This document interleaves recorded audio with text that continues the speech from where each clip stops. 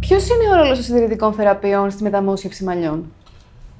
Οι συντηρητικές θεραπείες στη μεταμόσχευση μαλλιών είναι αλληλένδετες. Δεν υπάρχει δηλαδή περίπτωση στην Advanced Hair Clinics και από μένα ως ειδικό, ο οποίος έχει εμπειρία άνω των 30.000 ασθενών με τριχόπτωση, εδώ και 15 χρόνια, να υπάρξει άνθρωπος ο οποίος θα υποβληθεί σε μεταμόσχευση μαλλιών και δεν θα λάβει την κατάλληλη συντηρητική αγωγή για να διατηρήσει τα δικά του μαλλιά.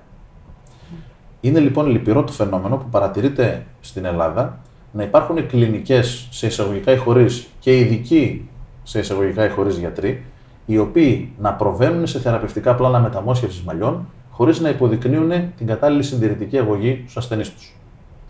Και όταν μιλάμε για συντηρητική αγωγή, στη μεταμόσχευση μιλάμε για τοπική μηνοξιδίλη, τοπική φιναστερίδη που είναι η τελευταία φαρμακευτική εξέλιξη ε, και χρησιμοποιείται τα τελευταία δύο χρόνια και κυρίως η αυτόλογη μεσοθεραπεία με το πλάσμα πλούσιο σημαπιτάλια, γνωστό και ως PRP. Ειδικά δε για το PRP θα πω ότι σαν κλινική έχουμε δημοσιευμένα στον διεθνή ιατρικό τύπο αποτελέσματά μας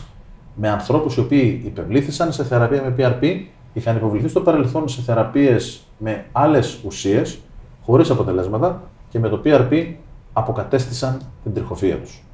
Όταν λοιπόν υπάρχουν δημοσιευμένα αποτελέσματα ακόμη και σε πολύ δύσκολες περιπτώσεις, όπως η γυροειδή αλοπεκία, όπου οι ασθενείς ωφελήθηκαν από το PRP, μου είναι αδιανόητο πώς στην Ελλάδα άνθρωποι οι οποίοι προτείνουν τον εαυτό τους ως ειδικό της τριχόπτωσης και της μεταμόσχευσης μαλλιών αρνούνται το PRP και τη λειτουργία του. Αυτό λοιπόν που έχω να προτείνω και να πω είναι ότι όσο σημαντικό είναι για κάποιον ο οποίος έχει υποβληθεί σε μια σοβαρή επέμβαση, ένα bypass στην καρδιά του, να παίρνει μετά τα χάπια του και την αγωγή του για την πίεση και για να μην πίζει το αίμα, άλλο τόσο σημαντικό είναι σε έναν ασθενή που κάνει μεταμόσχευση μαλλιών, να παίρνει τη συντηρητική του αγωγή και να κάνει το PRP του για να φροντίζει την υγεία των υπάρχοντων μαλλιών.